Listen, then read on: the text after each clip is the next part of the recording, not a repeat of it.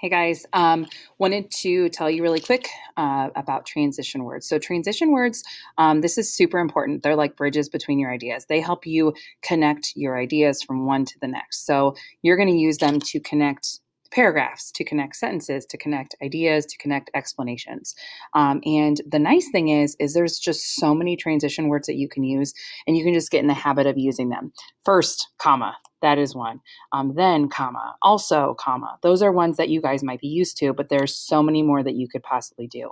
Um, so, say you're talking about comparing two things, that's what these would be for. And you guys all have this great transitions um, on your Schoology, um, but this is something that you can look at, showing how things are alike um, or how they're similar. Likewise, furthermore, um, also, so say you're just elaborating on how things are on the same topic, okay?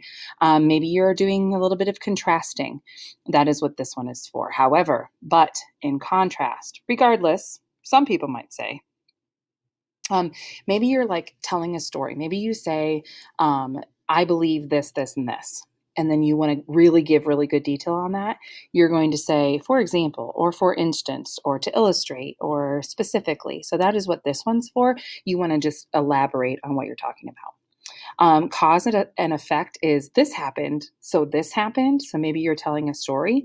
Um, these ones are those. So you have as a result, it follows that. Therefore, so, um, so you have things that this happened, moving on here.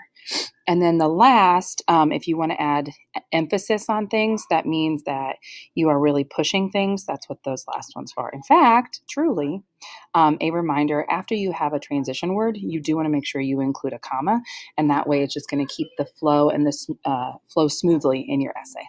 Don't forget to ask if you have any questions.